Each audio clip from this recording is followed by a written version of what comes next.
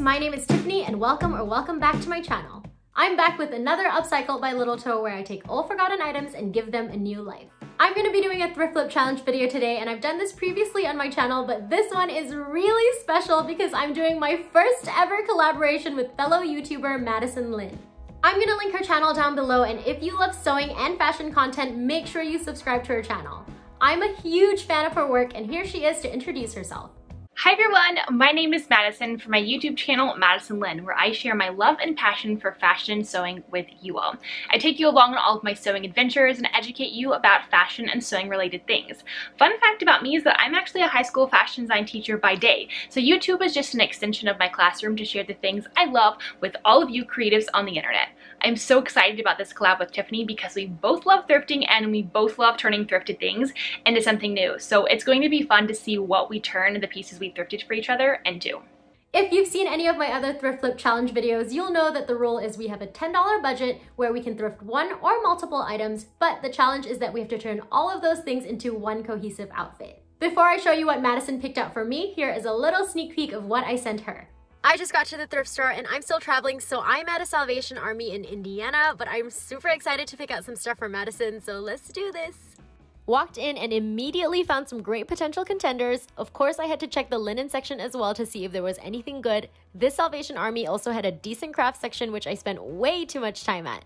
Here I am packing up the items to send to Madison. I bought her three things and spent just under $10. Make sure to check out her video, which I've linked down below to see what I sent her and more importantly, to see what she turned it into. Now, time to wait for her package to arrive. I think the package she sent me just got here today, so I'm so excited to see what she sent. Okay, I have the package here. I have no clue what Madison sent me, um, but I feel like our aesthetics are pretty similar, so I'm really excited, but still nervous, but really excited. Look how pretty it is. Okay, we have a white dress, and we have a green dress. I'm pretty excited about these and now I am going to figure out what I'm gonna make. Let's take a closer look at the items Madison sent me. First up is this green dress. The fabric is medium to heavy weight and has a little bit of stretch to it. This dress is so bright and playful, which makes me a little nervous because I'm not great with colors, but I do love these embroidered flowers on the fabric. Moving on to the white dress. It didn't have a textile label, but I think this is a linen blend fabric. I'm actually pretty excited about this one because it feels so summery to me and there is a significant amount of fabric to play with. It's been a few days since I received the items from Madison and I think I finally have an idea of what I want to turn these items into. So this green dress is so lovely and vibrant and I was trying to figure out how to make it into a cute summer outfit and I was really inspired by vintage swimwear. Specifically 50s style swimwear and play suits. Here are some of my inspo photos. I'm gonna take this dress and turn it into a two-piece set with shorts and a matching crop top that's more bralette style. Going with the swimwear route, I was also inspired by resort wear and I've decided that I'm going to turn the white dress into a cover up. I'm gonna make a little blouse with like really big billowy sleeves that I can wear over the two-piece set to make one cohesive outfit. I'm not too concerned about the white dress because I'm pretty sure I'll have enough material to achieve the look I'm going for, but I am a little concerned about the green dress. Um, I don't know if I'm gonna have enough material, but there's only one way to find out, so let's get started. I'm gonna start with the shorts and I'm going to be using a pattern that I drafted, but I'll also link a free shorts pattern in the description box below. Here is the pattern I'll be using for the front of my shorts. As you can see here, it is much wider than my regular pant pattern. I'm adding three pleats to the front and this additional width is to accommodate that. Using this pattern, I cut out my fabric. I didn't have a big enough piece, so I cut out two pieces that I've sewn together along this seam. To make the first pleat, I fold this piece right side facing along the seam that joins the two pieces. I'm going to draw a line one inch from the seam, making sure I measure from the actual seam and not the seam allowance. I draw a line and mark it two and a half inches from the top. I'll sew a straight stitch along this line until the two and a half inch mark and you should have something that looks like this. When I unfold this, I'll have a pleat and I'll adjust this fold so that it's facing outwards towards the side seam of the shorts. Now the seam that joins the two pieces is hidden underneath the pleat. Following the same steps, I'm going to add two more pleats on both sides of the original pleat. Also, the reason I'm adding all of those pleats is because I want the shorts to kind of look like a skirt, but still be shorts. This is what it should look like with all three pleats. Here's what it looks like on the wrong side, and as you can see here, I sewed a straight stitch on each one inch section two and a half inches from the top. Now I'm going to sew a straight stitch across the pleats, securing them in place like so. I've gone ahead and drafted the pattern for my pocket and then cut it out of the fabric. I'll place these pieces right side spacing and sew along the side here to secure. I also understitched the pocket to the seam allowance so it doesn't peek out when the garment is worn. Here's what the pocket looks like sewn on and I went ahead and repeated all of these steps to make the mirrored front piece. Now I'm placing my front pieces right side spacing and also along the center front seam to secure and this is what the front of the shirt should look like now. Moving on to the back. Here is the pattern I'll be using and here is the fabric cut out. I chose not to sew the dart because I'll be adding elastic here a little later. I've cut out my pocket piece and once again I'm placing them right side facing and sewing along this side to secure. Following those same steps, I made the other side. With the front of my shorts right sides up, I place the corresponding back piece right side facing and also along the side seam, around the pocket, and continue down the rest of the side seam, and it should look something like this. Repeat on the other side, and just like that, the shorts are starting to take shape.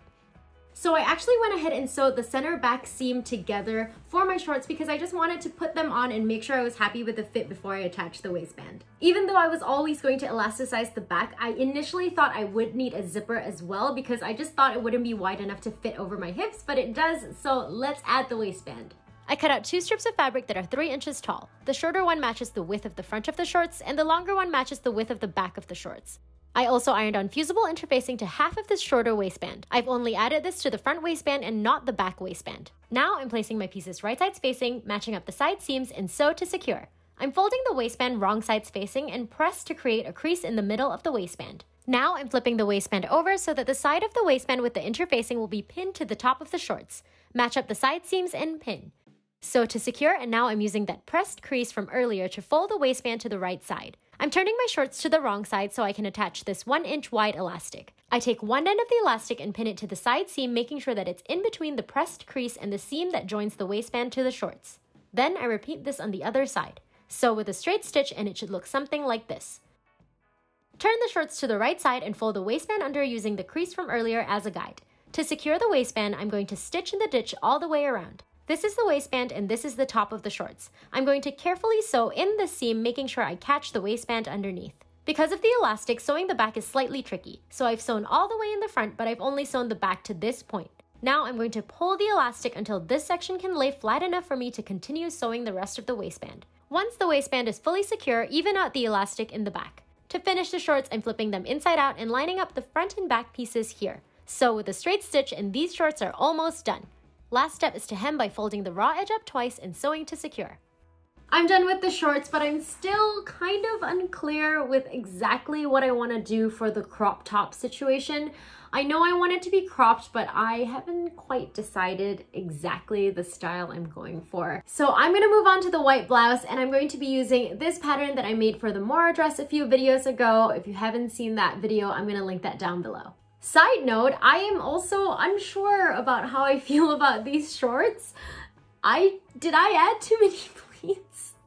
Why did I add so many pleats? I'm gonna show you guys what it looks like on a little later because I'm hoping it'll look better as a set. Um, but I'm definitely kind of sort of second guessing my design decisions right now. So I'm just gonna move forward and start making the white blouse and then we'll see how it goes. This is the pattern I'll be using for the front of the top and here is the fabric cut out. Here is the pattern I'll be using for the back of the top. As you can see here, I've cropped it by about an inch and a half and I've also folded the top of the center back seam creating a V back. Here is the fabric cut out and I've also gone ahead and sewn the dart. Before sewing the front and back pieces together, I've sewn a basting stitch along the shoulder seam of the front piece. I'm going to gather it until it matches the shoulder seam of the back and sew to secure. Following the same steps, I've gone ahead and made the other side and I'll sew these two pieces together along the center back. To finish the neckline, I've made a facing that I'll sew to the top to hide all of the raw edges. Give it a good press so that everything is nice and neat and I've also understitched the facing to the seam allowance. Moving on to the sleeves, I'm using a large piece of paper to draft the pattern. I'm using my top as a guide so I lay this side flat and trace out this curve. Using my ruler, I draw a horizontal line at the base of the curve. Now I'm adding 4 inches to both sides of the sleeve. You can add more or less depending on how puffy you want your sleeves to be. I'm adding 2 inches to the highest point of the sleeve cap and then freehanding a sleeve cap curve. I decided I wanted it to be a little bit taller so I added 1 more inch to the highest point and adjusted the sleeve cap curve. Then I drew two vertical lines that are about 20 inches long completing the sleeve pattern. Cut this out and here is the sleeve pattern. Using this pattern, I cut out my first sleeve. I fold this right side spacing and sew along here to secure.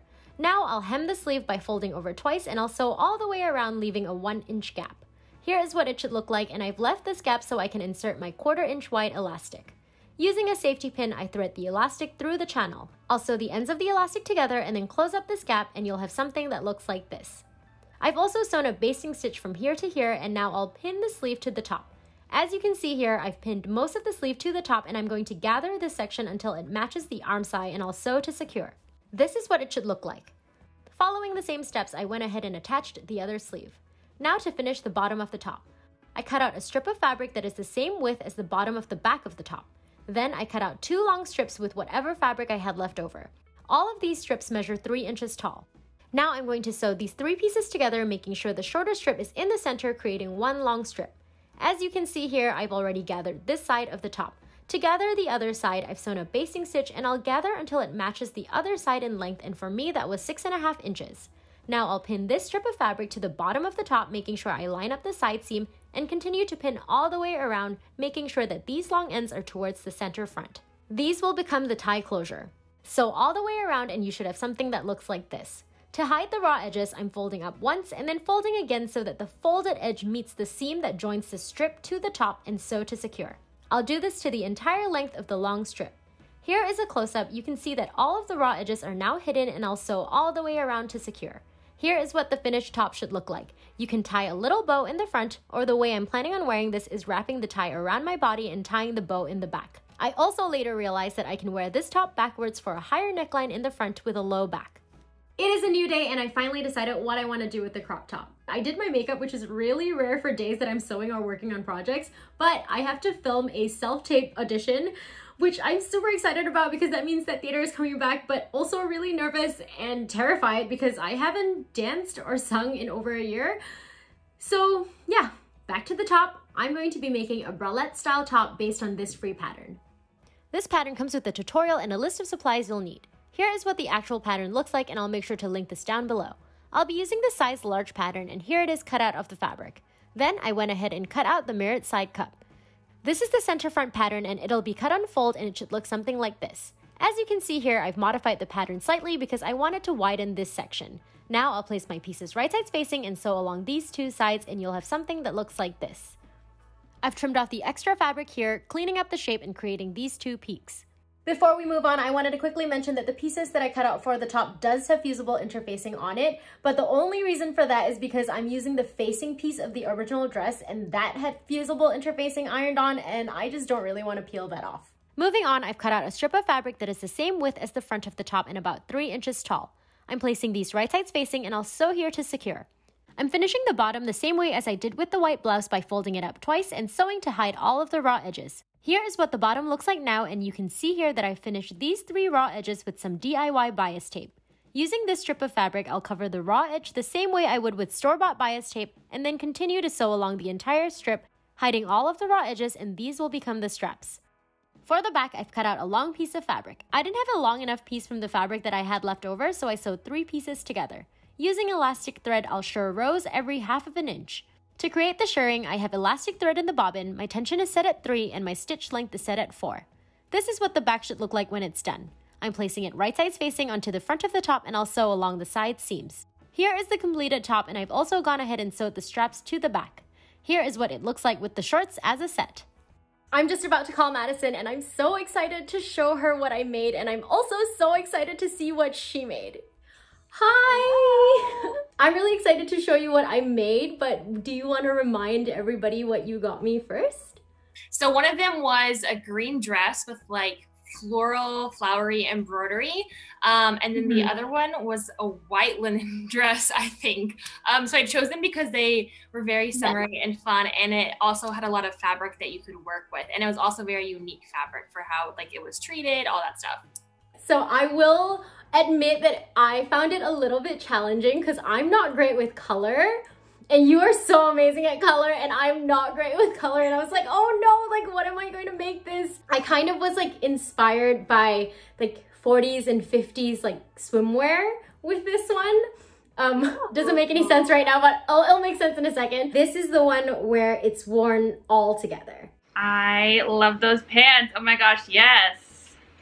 With the pleats Those are definitely very like 1940s, which I'm obsessed with. oh my goodness, this is so cool. Like, I feel like you always have in your mind an idea of like what someone could turn something into, but then like you have to see what they actually turn it into. And this is like so amazing. And the top as well, the sleeves are so cool. And the tie, like this is not what I pictured at all, but it's like way, way better. It's so awesome. I'm gonna show you what it looks like like without the top. That is like the cutest thing ever.